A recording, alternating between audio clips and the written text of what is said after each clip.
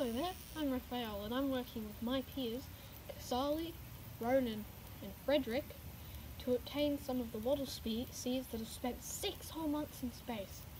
Due to the coronavirus pandemic, we have been unable to film at school, so we've had to film remotely by ourselves. Hope you enjoy. Our school, Aitken College, has a strong focus on the environment, gardening, and agriculture. In our years at Aitken, we have participated in the Stephanie Alexander Kitchen Garden program, where we will learn gardening skills, the structure of the seed, and the process of growing a plant. We also studied the propagation and growth of a snow pea seed, observing and recording their growth and health to see the changes that have been made daily.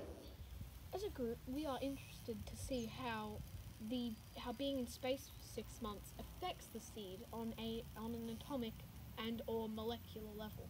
One of my own predictions is that due to the extreme low gravity in space, it may have shifted a couple of the atoms and changed the solid structure of the seed to be different. So it may actually have stunted growth or more growth than it usually does as a wattle seed. Aitken has a focus to educate us on space, making model planets and playing realistic games to solve space challenges. We often learn about space, its qualities, and we find we're fascinated that there are many things unknown about space. Aitken College has many gardens that are filled with plants grown by the students. This provides us information on plants, propagation, and gardening. We also have a farm and science building where we learn about biology and agriculture. These would benefit our learning by providing us with information on how the vacuum of space changes the seeds.